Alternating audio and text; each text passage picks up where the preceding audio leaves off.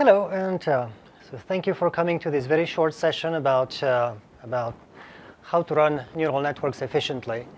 Um, I, uh, I work for Google. My name is, my name is Martin. Uh, I'm, people mostly know me for uh, uh, this series of videos, educational videos about machine learning.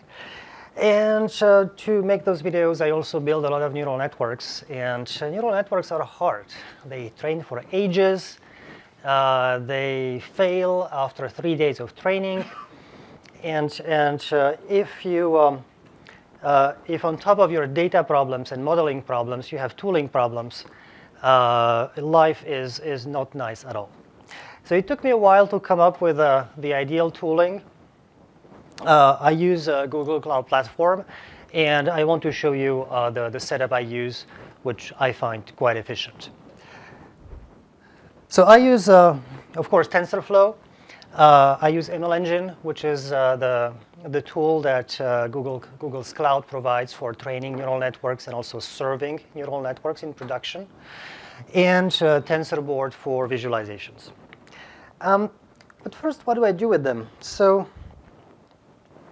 here is uh, one model that I've been working on for a while. Uh, here, so this is the application. It's, it's just a map, and you can, uh, you can scroll around. And, uh, and then the model that I was building is a model that recognizes airplanes. So it's scanning the image, and it's spotting all of these airplanes there. Um, it sounds fairly, I mean, it, it's, it's a middle of the road as models go. It's, it's, it's not a toy model. It's not one of those super complex models that trains for weeks, it's somewhere middle of the road. Um, the, the tool I'm using is, so as, as I said, the tool I'm using, so this is the application. And that's just JavaScript, HTML. That has nothing to do with the tooling that I want to talk to you about. That's what I'm building. This is ML Engine. So what I like in ML Engine is that the view I see is not virtual machines or some infrastructure thing that I don't understand, but my training jobs with their completion, with the logs. How do I launch a job? It's, uh, my job is written in, uh, in Python. It's straight uh, TensorFlow code in Python.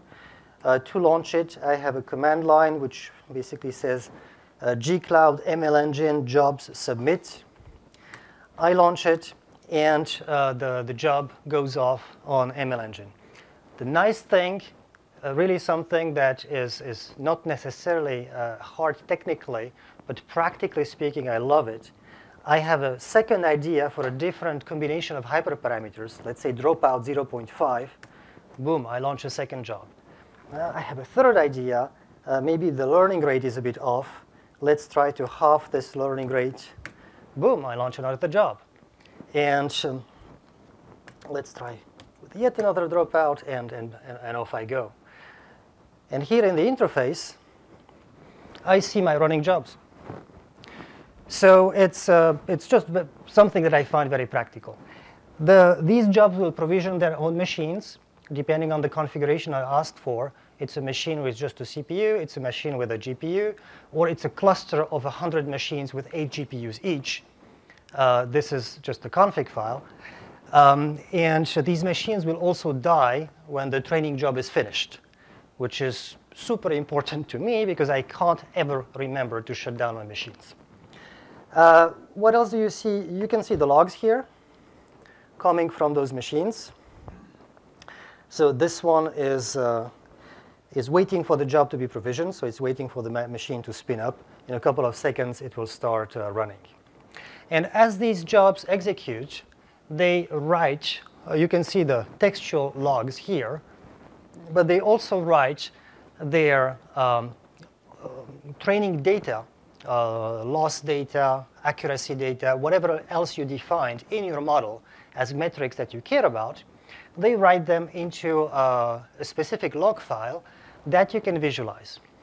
The tool that is used for visualizing, yeah, my, uh, my training has just started here. Uh, the tool that uh, you use for visualizing those, uh, those metrics is called TensorBoard.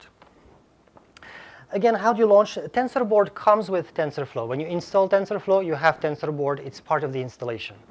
Uh, you launch TensorBoard uh, on the command line by saying TensorBoard and specifying, if you're too far away, don't worry, but you just specify the folder in which those events files have been written by TensorFlow. And this can be a folder in the cloud that works perfectly. I can monitor a job that is running on ML Engine from my machine here. So what are the things that I can see? For instance, here, I was building my, my so this is my accuracy, this is my loss.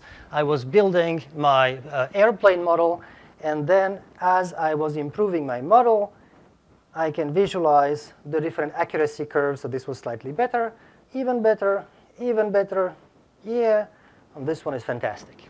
I'm pretty happy with that. Um, more interesting, you have an image visualization as well in TensorBoard.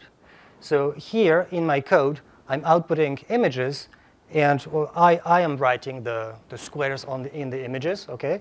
Uh, yellow is the ground truth, and, and the white squares is what I detect, what the model detected.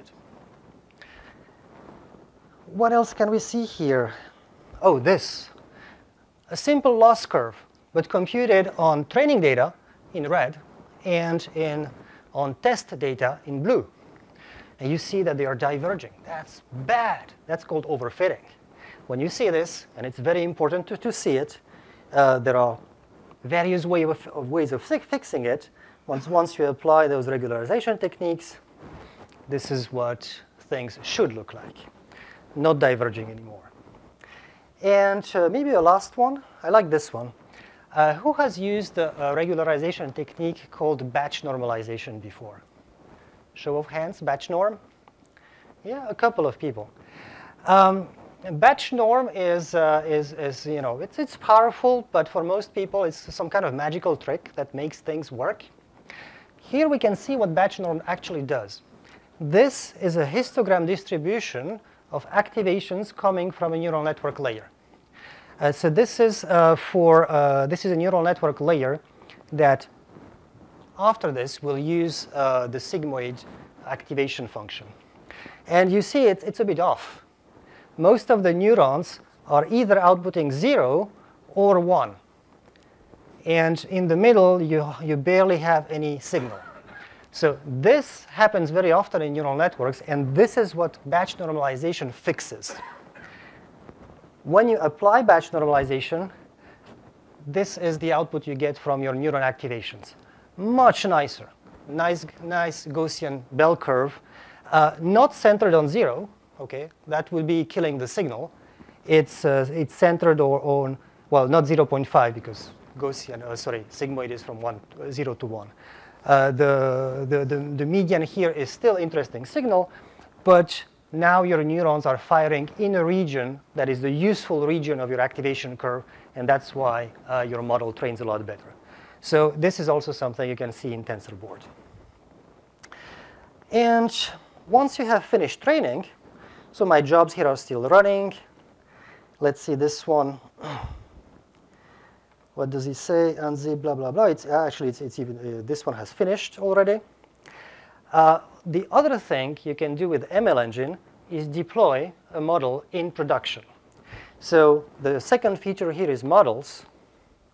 And I have this MNIST model that is created, but I can create a new version of it. Let's call this VQCon. And the only thing I have to do is to point it to a saved model, which is something that TensorFlow saves at the end of, uh, at the end of, uh, of, of training. Uh, and it's right here in digits, export, MNIST model, and here are my, my saved models. So I guess this one is, is a good one. I do select, create. This takes a couple of minutes, so you will, you will not see the result immediately. But this model at the, at the outset will be deployed behind uh, a fully managed REST API, fully managed, fully auto-scaled, so there is nothing you have to worry about. Just call the REST API with, in, in my case, the tiles of aerial imagery, and outcome predictions.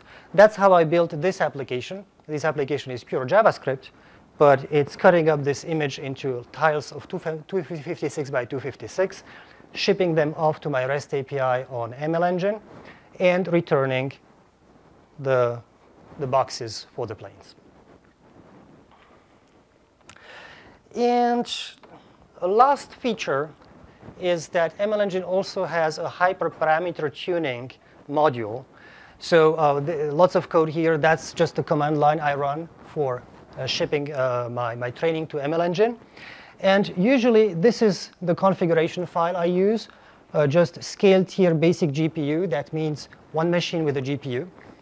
But you can add all of these additional parameters, which will tell ML Engine to run a hyperparam tuning job, to, saying I want to maximize my accuracy by trying values of this parameter between these bounds and this parameter between those bounds. And it runs a hyperparameter tuning jobs. It tries to find the, the, the, best combination of parameters in quite a clever way. It's using Bayesian uh, inference in the background to, uh, to run the, the minimal amount of, of, of trials uh, to figure out the best parameters for your job. That's it. That's what I wanted to share with you. TensorFlow, ML Engine, TensorBoard, and I'm quite productive with those. Thank you.